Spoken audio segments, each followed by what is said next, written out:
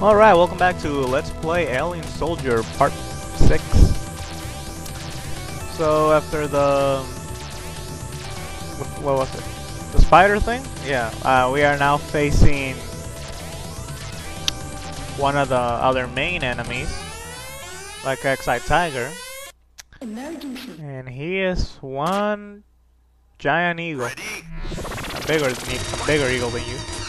With, uh, with, uh, a, uh, with a really awesome screech.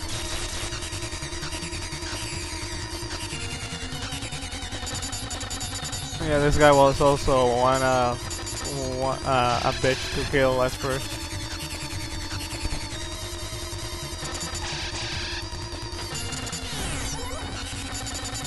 What you want to do is, um,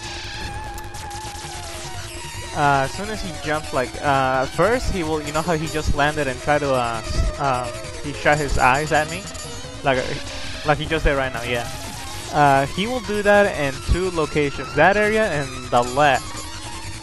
Well, that area on the left and middle, so you want to stay on the, on the sides.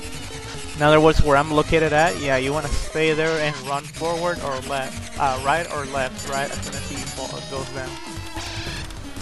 Other than that, yeah, that guy's that guy's pretty easy. Love the background.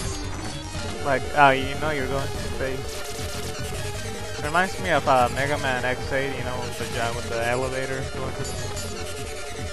Which I'm pretty sure they ripped off from Doom. No, whatever.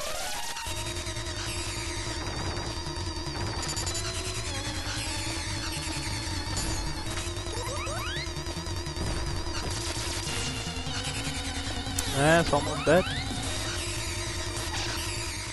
And he's down. Boom! And that's it for whatever the hell he was called.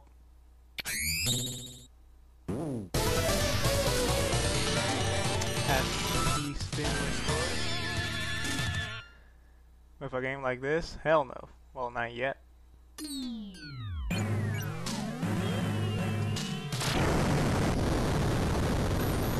I love the effects and I love the effect on this, like the pieces of the world separating. And now in this part, I have no idea. I can't. I cannot like understand the look, uh, the, the shape of that is. Is, the, is a wolf looking backwards or something? I'm not sure. But anyways, stay tuned for part 7 now. Let's play Alien Soldier. Thanks for watching.